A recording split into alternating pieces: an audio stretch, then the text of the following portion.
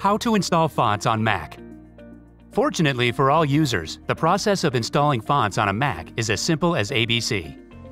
You don't need to be a tech guru to download, install, preview, and enable new fonts on Mac. All you'll need is some high-level guidance, and we're happy to provide it.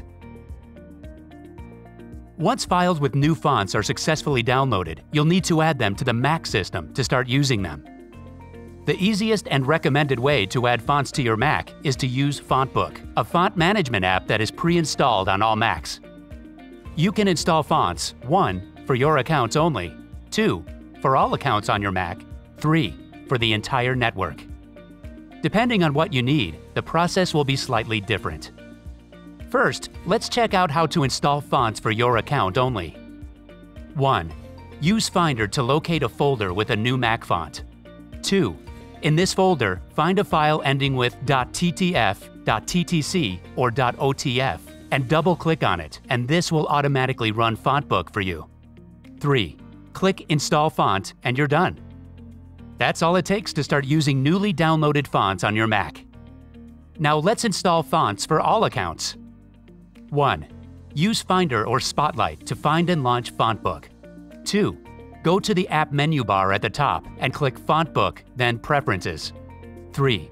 Use drop-down to change the default location from user to computer. 4. Find and open the folder of the new font you wish to add. In this folder, double-click on the file ending with .ttf, .ttc, or .otf. 5. Click the Install Font button on the font book pop-up. Congratulations! The new font has just been added to the Fonts folder system-wide, and you can use it from any account on your Mac. To install fonts for everyone on your network, you need to either be a network administrator or to ask one to do it for you. Notice that to make new fonts available for all network users, they need to be copied to the network's Mac fonts folder. The address is network slash library slash fonts.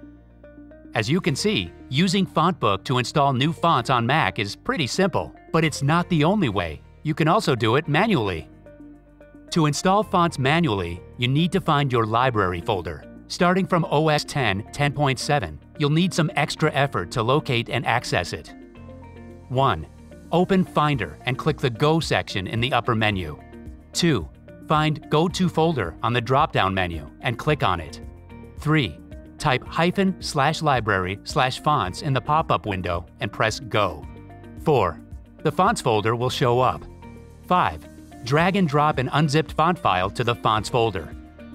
Well done! Now you know how to add Mac fonts manually too. Now you know everything you need to download, install, and effectively manage new fonts on your Mac. We hope this will give you more room for creativity and experiments when working on any Mac projects. Did you know fonts are gender specific? Male fonts are strong, heavy, bold, and jagged, while female fonts are light, curly, scripted, and fun.